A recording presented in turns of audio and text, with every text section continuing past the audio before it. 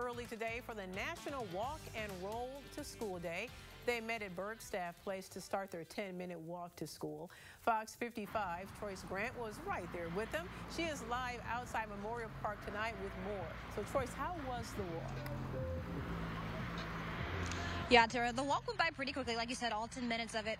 But the reason they do they, they do this is to show kids who don't normally walk to school a safe route to get there. And actually, in some cases, walking might be even quicker than driving to school.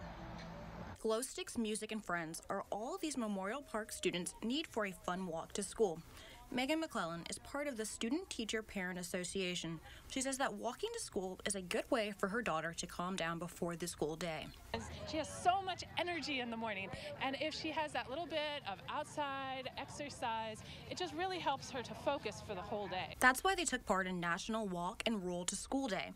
And 2,500 schools nationwide are getting their exercise and helping the environment by walking to school.